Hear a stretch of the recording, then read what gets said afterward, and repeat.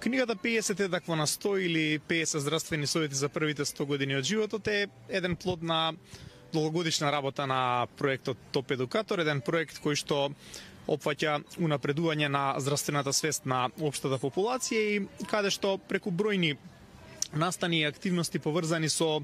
пред со стручната јавност, меѓутоа и воопшто со целокупната популација се трудиме да го а, унапредиме значењето на терминот здрав живот и воопшто да го унапредиме сваќањето на она што значи а, здравје, на она што значи правилен пристап кон а, собствениот а, живот и на тој начин да се постигне една благосостоја бидејќи како што знаеме сите а, доколку здравието е изгубено, се друго е второстепено.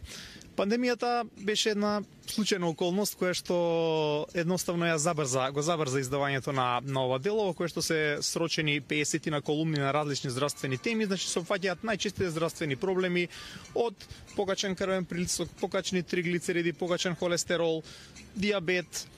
проблеми со стомакот, до совети како да се поставиме во однос на тековни проблеми, исхрана во зимскиот период, исхрана за време на пост. Значи бројни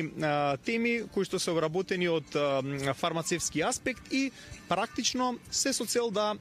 читателот добие една комплетна представа и да научи како да пред се врши превенција на, на проблемот, да доколку настане проблемот како да го препознае и во кој момент како да може да си помогне самиот на себе, а во кој момент треба да се јави на стручно лице, односно на лекар, за да